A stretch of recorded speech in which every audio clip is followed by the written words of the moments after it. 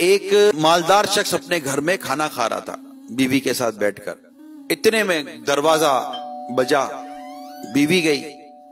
کون ہے تو کہا کہ کوئی مانگنے والا آیا ہے؟ غریب ہے، کوئی مسکن سا آدمی تھا۔ وہ اٹھا اور اس نے جو اس کو ذلیل کیا نا، اور جھاڑ کر، ذلیل کر کے اس کو اس کے گھر سے نکالا نا، بات آئی گئی، ہو گئی۔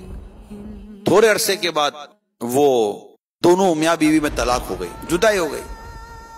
اس نے دوسرے سے شادی کر لی۔ جب اس نے دوسرے سے شادی کی تو اس کے ساتھ زندگی گزارنے لگی۔ اسی طرح ایک دن کھانا کھا رہے تھے۔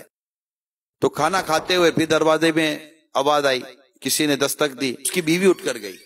اور جیسے دروازہ کھولا تو دروازے پر ایک غریب اور فقیر اور مسکین آدمی تھا۔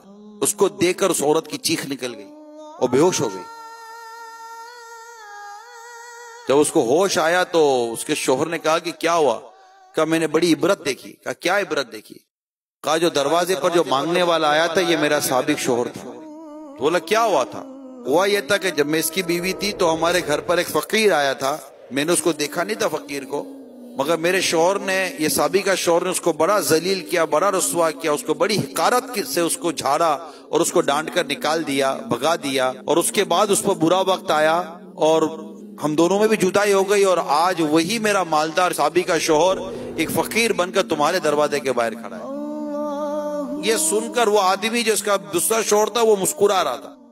کہ آپ مسکرا کیوں رہے کہ نیک وقت، تو نے مجھے پہچانا نہیں۔ کیا ہوا؟ کہا، میں وہی فقیر ہوں جس کو اس نے گھٹیا کر کے باہر نکالا تھا۔ میں وہی ہوں۔ اللہ تعالیٰ نے مجھے مالدار کر دیا اور اس کو محتاج بنا دیا۔ تو ہمیں نہیں پتا میرے میٹھے پیارے اسلام بھائیوں کہ اللہ تعالیٰ کو کون سی بات ہماری بری لگ جائے؟